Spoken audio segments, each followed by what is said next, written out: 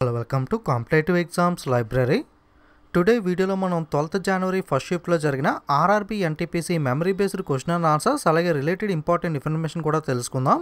So ఖచ్చితంగా అందరూ కూడా టెలిగ్రామ్లో జాయిన్ అవ్వడానికి అయితే ట్రై చేయండి. ఎందుకంటే మనకి రిలేటెడ్ ఇన్ఫర్మేషన్ ఏదన్నా ఉన్నా సరే ఇంపార్టెంట్ వీడియోస్ కానీ అవన్నీ కూడా అక్కడైతే షేర్ చేస్తున్నాను కాబట్టి మీరు మిస్ అవ్వకుండా ఉంటారో తప్పకుండా అందరూ కూడా జాయిన్ అవ్వడానికి అయితే ట్రై చేయండి ఓకే ఈరోజు మొట్టమొదటి క్వశ్చన్ చూసినట్లయితే Ajanta caves located in which state Ajanta గృహాలు అనేవి ఏ రాష్ట్రంలో ఉన్నాయని అయితే అడిగారో సో ఆన్సర్ వచ్చి మనకి మహారాష్ట్ర స్టేట్లో అయితే ఉంటాయి. నేను ఇంపార్టెంట్ మాన్యుమెంట్స్ మీద ఆల్రెడీ వీడియో చేశాను. రీసెంట్గానే టెలిగ్రామ్లో కూడా మనకి పోస్ట్ చేయడం జరిగింది. ఒకసారి మీరు చెక్ చేసుకోండి.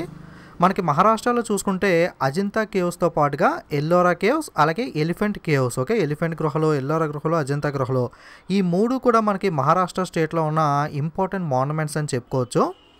అదేవిధంగా కోనార్క్ సన్ టెంపుల్ కూడా అడిగారు. Konark sun temple is situated in which state Konark సూర్య దేవాలయం ఏ రాష్ట్రంలో ఉంది అని అడిగారు. సో ఆన్సర్ వచ్చి మనకి ఒడిస్సా స్టేట్లో అయితే ఉంటుంది. Next national waterway one okay? NW one okay? Highway కాదు నేషనల్ వాటర్వే వన్ కనెక్ట్స్ అని చెప్పి ఒక క్వశ్చన్ అయితే అడగడం జరిగింది. సో ఈ జాతీయ జలమార్గం వన్ అనేది పొడవు ఎంత ఉంటుంది అంటే పదహారు వందల ఇరవై కిలోమీటర్ల పొడవు అయితే ఈ నేషనల్ వాటర్వే వన్ అనేది ఉంటుంది. అలాగే ఇది ఎక్కడి నుండి ఎక్కడ దాకా ఉంటుంది అంటే హల్దియా నుండి అలహాబాద్ దాకా అయితే ఉంటుంది. యాక్చువల్గా మనకి అలహాబాద్ పేరునే ప్రయాగరాజ్ అని కూడా మార్చారు.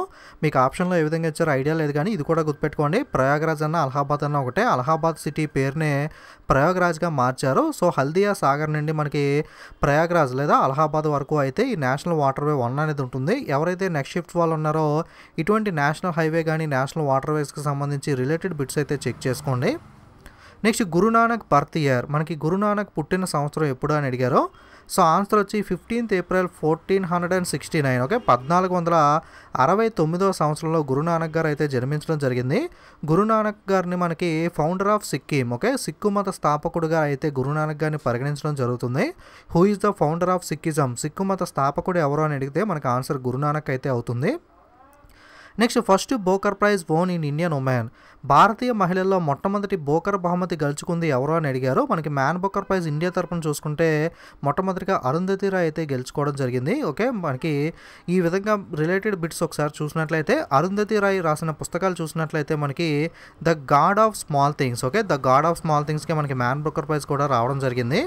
అలాగే ది ఎండ్ ఆఫ్ ఇమాజినేషన్ అలాగే మనకి the ministry of utmost happiness broken republic the shape of the beast the cost of living the algebra of infinite justice ఈ బుక్స్ అన్నీ కూడా అరుంధతి రాయ్ అయితే రాయడం జరిగింది. సో నేను already books and authors videos post చేశాను కదా. స్టాటిక్ బుక్స్ అండ్ ఆథర్స్లో ఇవన్నీ కూడా మనం ఆల్రెడీ డిస్కస్ చేసినవే. నెక్స్ట్ ఇన్హెరిటెన్స్ ఆఫ్ లాస్ అనే పుస్తకానికి కిరణ్ దేశాయ్ కూడా మనకి ఇండియా తరఫున మ్యాన్ బుకర్ ప్రైజ్ అయితే గెలుచుకోవడం జరిగింది. ఇది కూడా ఇంపార్టెంట్ గుర్తుపెట్టుకోండి. ఇన్హెరిటెన్స్ ఆఫ్ లాస్ పుస్తక రచయిత ఎవరు అంటే కిరణ్ దేశాయ్. అలాగే మనకి వైట్ టైగర్ పుస్తకానికి అరవింద్ అడిగార్ గారు కూడా మ్యాన్ బుక్కర్ ప్రైజ్ ఇండియా తరఫున గెలుచుకున్నారు. సో ఈ బిట్ కూడా ఆల్రెడీ ప్రీవియస్ షిఫ్ట్లో అడిగారు. వైట్ టైగర్ బుక్ ఆథర్ ఎవరో అని. అలాగే మనకి selection day last man in tower amnesty between the assassinations ఈ బుక్స్ అన్నీ కూడా అరవింద్ అడిగి అయితే రాయడం జరిగింది.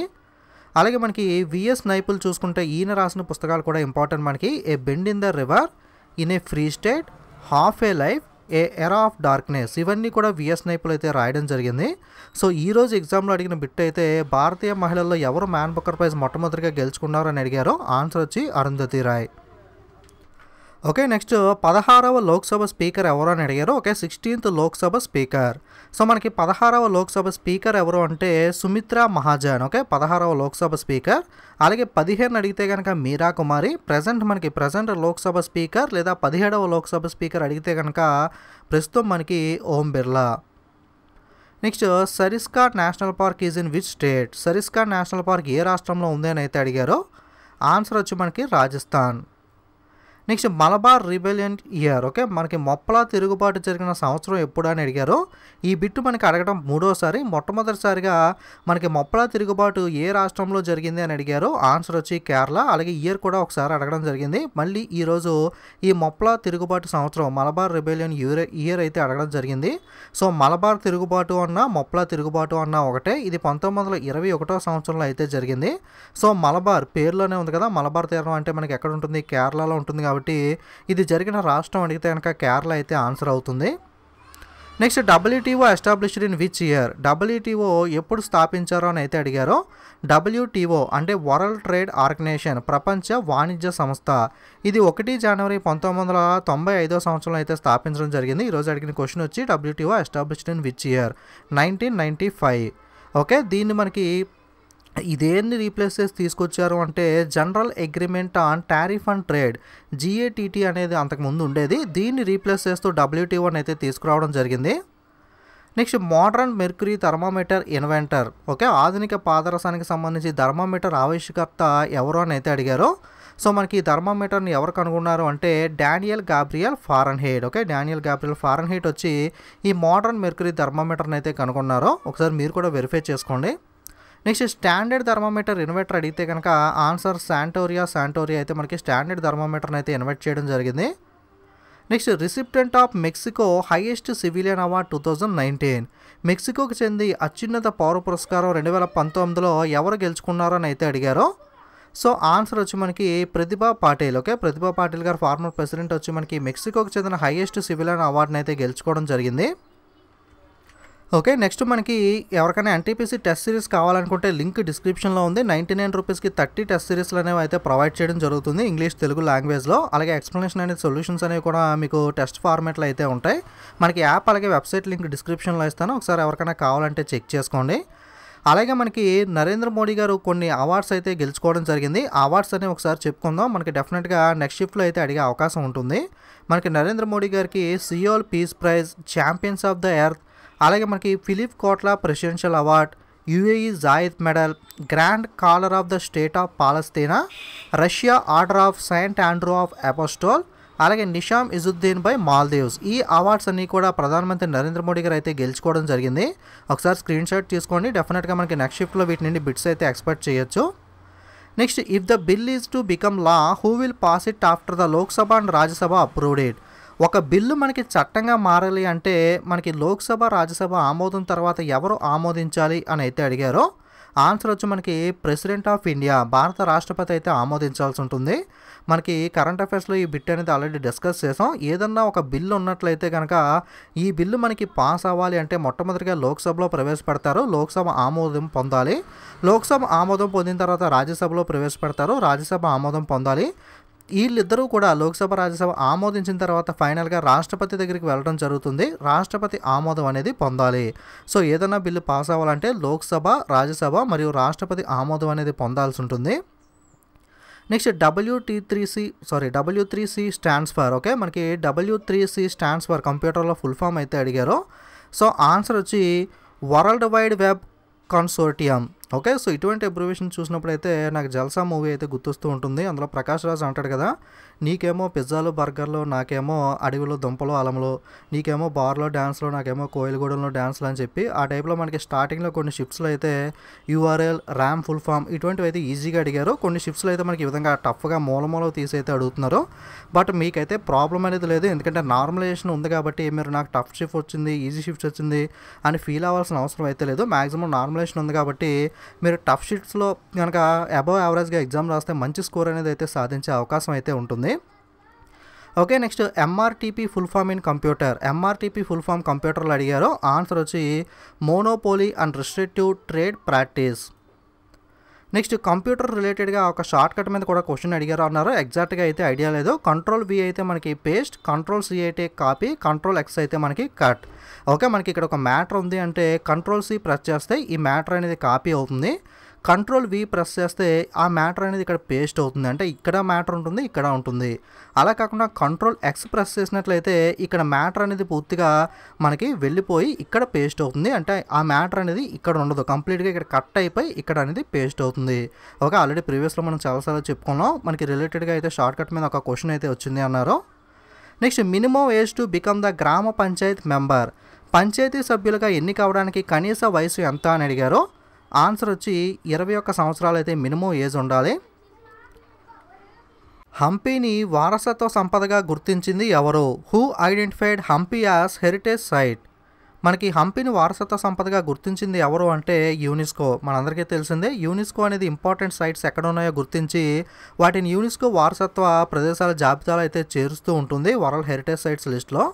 యూనిస్కో ఫుల్ ఫామ్ వచ్చి united nation educational scientific and cultural organization next operating system రిలేటెడ్గా ఒక క్వశ్చన్ వచ్చింది అన్నారు. ఎగ్జాక్ట్గా అయితే ఐడియా లేదు. డెఫినేషన్ రిలేటెడ్గా. డెఫినేషన్ చూస్తే an operating system is a saw system software that manages computer hardware software resources and provides the common services for computer programs okay ఎగ్జాక్ట్గా ఆప్షన్స్ క్వశ్చన్ ఐడియా లేదు కాబట్టి చెప్పట్లేదు. ఒకసారి చెక్ చేసుకోండి. Next deepest point in the world ప్రపంచంలోనే లోతైన సంధి లేదా పాయింట్ రిలేటెడ్గా అయితే అడిగారు. సో ఆన్సర్ వచ్చి మనకి వాళ్ళు చెప్పిన ఆప్షన్స్ ప్రకారం మెరియానా ట్రెంచ్ అయితే ఆప్షన్లో ఉంది అన్నారు. సో పసిఫిక్ సముద్రం పసిఫిక్ ఓషన్లో మెరియానా ట్రెంచ్ అనేది మనకి డీపెస్ట్ పాయింట్ అయితే అవుతుంది. Next Nadir Shah invaded India in which year Nadir Shah ఏ సంవత్సరంలో భారతదేశాన్ని ఆక్రమించారో అని అయితే అడిగారు. సో ఆన్సర్ వచ్చి పదిహేడు వందల ముప్పై ఎనిమిది. కొన్ని చోట్ల మనకి కొన్ని వెబ్సైట్స్లో పదిహేడు వందల ముప్పై తొమ్మిది అని కూడా ఇవ్వడం జరిగింది. ఆప్షన్స్లో అయితే మనకి దగ్గర దగ్గరగా అయితే ఇవ్వలేదు. కాబట్టి మనకి రిలేటెడ్ ఆప్షన్స్ మనకి దగ్గరగా ఉన్నది అయితే ఆన్సర్ అవుతుంది. మీరు కూడా ఒకసారి వెరిఫై అయితే చేసుకోండి. Next national informatics centre NIC founded year. National informatics centre NIC స్థాపించబడిన సంవత్సరం ఎప్పుడు అని అయితే అడిగారు ఆన్సర్ వచ్చి పదిహేడు వందల డెబ్బై ఆరులో అయితే దీన్ని స్థాపించారు. దీని యొక్క ప్రధాన కార్యాలయం హెడ్ క్వార్టర్స్ వచ్చి న్యూఢిల్లీలో అయితే ఉంటుంది. Next national Jalkranti Abhiyan launched year. జాతీయ జలక్రాంతి అభియాన్ ప్రారంభించబడిన సంవత్సరం ఎప్పుడు అని అయితే అడిగారు సో ఆన్సర్ వచ్చి జూన్ ఐదు రెండు వేల పదిహేను అయితే నేషనల్ జలక్రాంతి అభియాన్ని ప్రారంభించడం అయితే జరిగింది. నెక్స్ట్ మనకి బహ్రూబ్ గాంధీ బుక్ ఆథర్. బహ్రూబ్ గాంధీ పుస్తక రచయిత ఎవరు అని అయితే అడిగారో ఆన్సర్ వచ్చి మనకి Anu Bandyopadhyay. Next patient is related to doctor then student is related to what అని చెప్పి రీజనింగ్లో అడగడం జరిగింది. మనకి పేషెంట్ డాక్టర్ రిలేషన్ ఉంటే స్టూడెంట్కి టీచర్కి రిలేషన్ ఉంటుంది కదా సో టీచర్ అనేది ఆన్సర్ అవుతుంది. Next study of animal behaviour related question అయితే అడిగారో. మనకి స్టడీ ఆఫ్ యానిమల్ బిహేవియర్ని ఎథాలజీ అని చెప్పి పిలవడం అయితే జరుగుతుంది. అదేవిధంగా స్టడీ ఆఫ్ యానిమల్స్ అడిగితే జువాలజీ అవుతుంది. స్టడీ ఆఫ్ యానిమల్ బిహేవియర్ అడిగితే కనుక ఎథాలజీ అనేది అయితే అవుతుంది. నెక్స్ట్ క్రింది వాణిలో భిన్నమైనది ఏమిటి అని చెప్పి ఈ విధంగా ఆప్షన్స్ అయితే ఇవ్వడం జరిగింది. పంజాబ్ పాట్నా భోపాల్ ముంబై. ఓకే సో మనకి ఇవన్నీ కూడా సిటీస్ పంజాబ్ అనే స్టేట్ కాబట్టి మనకి ఇదైతే ఆన్సర్ అయ్యే అవకాశం ఉంటుంది. మనకి ఎగ్జాక్ట్ క్వశ్చన్ ఆప్షన్స్ ఐడియా లేకపోతే అయితే మనమైతే చెప్పలేం. మోస్ట్లీ పంజాబ్ అయితే ఆన్సర్ అవుతుంది. Next king George V and queen Mary welcome which monument okay మనకి which one is constructed according to the Gujarat style to welcome the king and queen అని చెప్పి రిలేటెడ్గా క్వశ్చన్ వచ్చింది అన్నారు. ఎగ్జాక్ట్గా అయితే ఐడియా లేదు కానీ ఇటువంటి క్వశ్చన్ అయితే కన్ఫామ్గా వచ్చింది. అంటే మనకి కింగ్ అండ్ క్వీన్ ఏదైతే క్వింగ్ జార్జ్ ఉన్నారో వీళ్ళని వెల్కమ్ చేయడానికి గుజరాతీ స్టైల్లో నిర్మించిన కట్టడం ఏమిటి అని చెప్పి అడిగారు. So answer the gateway of of India ఇది కూడా మనకి రిపీటెడ్ క్వశ్చనే గేట్ వే ఆఫ్ ఇండియాని ఏ స్టైల్లో నిర్మించారో అని చెప్పి ప్రీవియస్ షిప్స్లో అయితే అడగడం జరిగింది.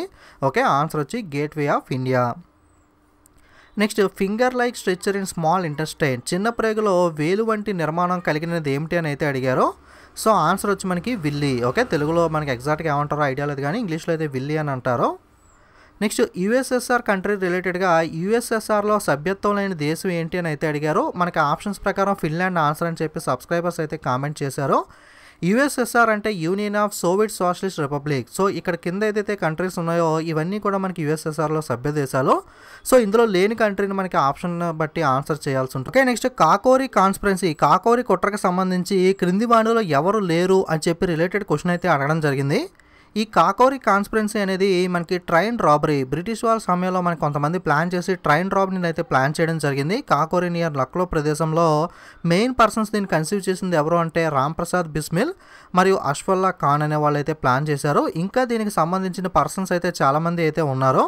మనకి ఎగ్జాక్ట్ క్వశ్చన్ ఆప్షన్స్ ఐడియా లేదు కాబట్టి ఆన్సర్ అయితే చేయట్లేదు. ఎగ్జామ్ రాసిన వాళ్ళు ఎవరైనా ఉంటే అక్కడ నేమ్స్ అనేవి చెక్ చేసుకుని వీళ్ళందరూ కూడా ఈ రాబరీ ప్లాన్ ఎగ్జిక్యూట్ చేసిన వాళ్ళు ఉన్నారు. దీన్ని బట్టి ఇందులో లేని వాళ్ళు అయితే మనం ఆన్సర్ అయితే చేయాల్సి ఉంటుంది. ఎవరన్నా రాసిన వాళ్ళు ఉంటే ఎగ్జాక్ట్ క్వశ్చన్ ఆన్సర్ అయితే కామెంట్ చేయండి. Next oldest nuclear power plant. అతి పురాతనమైన న్యూక్లియర్ ప్లాంట్ ఏది భారతదేశంలో అని అడిగారో. ఆన్సర్ వచ్చి Apsara.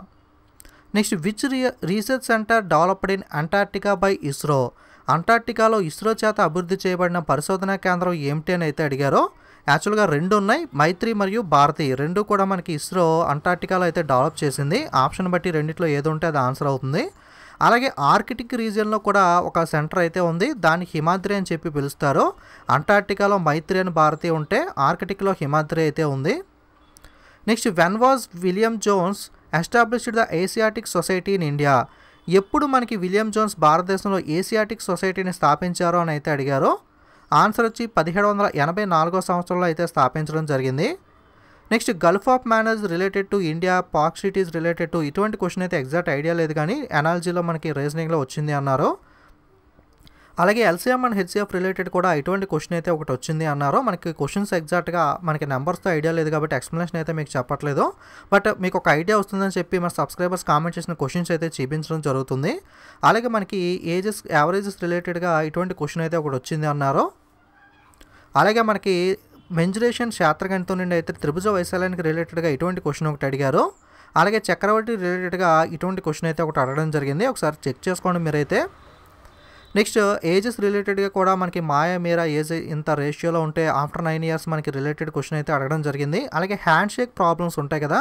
Hand shake related problem కూడా ఒకటైతే అడిగారని చెప్పి కామెంట్ చేయడం జరిగింది. ఓకే అలాగే వెన్ డయాగ్రామ్ రిలేటెడ్గా కోడింగ్ అండ్ డీకోడింగ్ రిలేటెడ్గా కూడా మనకి క్వశ్చన్స్ అయితే వచ్చాయి అన్నారు. అలాగే ప్రాఫిట్ అండ్ లాస్ మీద కూడా. సో మమ్మల్స్ హార్ట్స్ ఎలిఫెంట్ ఇటువంటి రిలేటెడ్గా వెన్ డయాగ్రామ్ క్వశ్చన్స్ అనేవి కూడా ఈ రోజు అయితే అడిగారు. సో ఇది మనకి ఓవరాల్గా ఈరోజు ఫస్ట్ షిఫ్ట్లో జరిగిన memory based question and answers అనేవి. ఇంకా ఏదైనా క్వశ్చన్స్ ఉంటే కానీ మీరు తప్పకుండా కింద అయితే కామెంట్ చేయండి. అలాగే మీ ఎగ్జామ్ కంప్లీట్ అయిన తర్వాత వీలైనంత త్వరగా నా క్వశ్చన్స్ ఇన్స్టాగ్రామ్లో కానీ లేదా ఏదైనా వీడియో కింద కానీ కామెంట్ చేయడానికి ప్రయత్నించండి. క్వశ్చన్స్ సెండ్ చేస్తున్న ప్రతి ఒక్కరికి కూడా చాలా థ్యాంక్స్ అని చెప్పుకోవాలి. ఎందుకంటే మీరు క్వశ్చన్స్ సెండ్ చేయడం బట్టి నేనైతే వీడియో చేయడానికి అయితే వీలుంటుంది.